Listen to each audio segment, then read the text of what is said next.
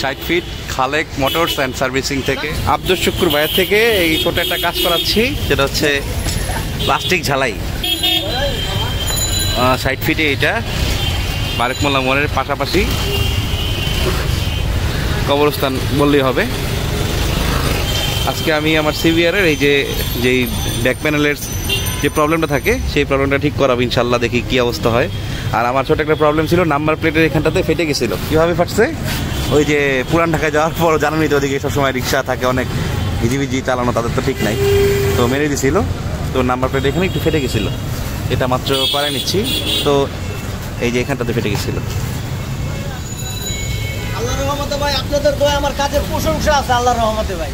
ইনশাল্লাহ ভাই দেখি কেমন হয় তারপর আমি সবাই আল্লাহর রহমতে যে কোনো কাজ হোক আপনার যদি হেডলাইট যদি ভাঙাও যায় হেডলাইটের গ্লাসও আমি তৈরি করে দিতে ও বাহ খুব ভালো। ভাইয়ের মানে এই জায়গাটা দেখা যায় না মানে একদম ছোট একটা জায়গা কিন্তু ইনশাল্লাহ একদিন বড় দোকান হয়ে যাবে ভাইয়ের দয়া কি ইনশাল্লাহ কাজ ভালো থাকলে আসলে মানুষ ছোট দোকান বড় দোকান বলে কথা না মানুষ খুঁজে নিবে। এই যে লোহার ক্লাম দিয়ে কাজ করব এই লোহার ক্লামটা ভিতরে দিয়ে দিব।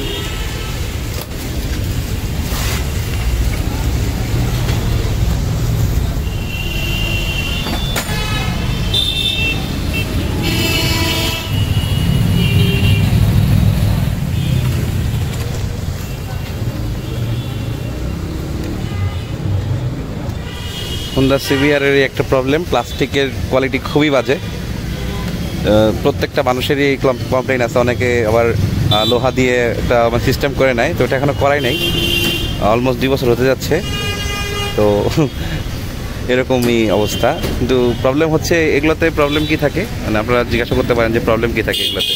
বাইক যখন রান করা হয়, তখন পেছন সাইড একটা ঝনঝন টাইপের সাউন্ড হয় মানে কনফিডেন্স কম পাওয়া যায় একটু মানে যদি একটা বাইকে যদি একটা নয়েজ চালানো রাইডিং রাইডিংয়ের সময় যদি কোনো নয়েজ থাকে কনফিডেন্সটা একটু কমে যায় মানে মনে হয় কি জানি হচ্ছে, পিছনে এমন একটা ব্যাপার স্যাপার চলে আসে। সেই জন্য অলওয়েজ এগুলোকে ফিট রাখা উচিত। অলমোস্ট কমপ্লিট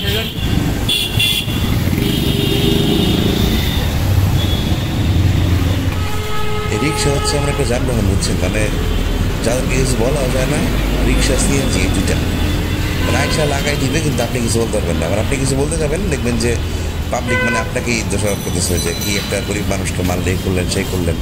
মানে আইসা ফট করে লাগাই দিবে কোনো কথা নাই বাচ্চা নাই। পিস বিশ টাকা। বিশ টাকা। কই পাম এটা? এই যে ইয়ার সামনে।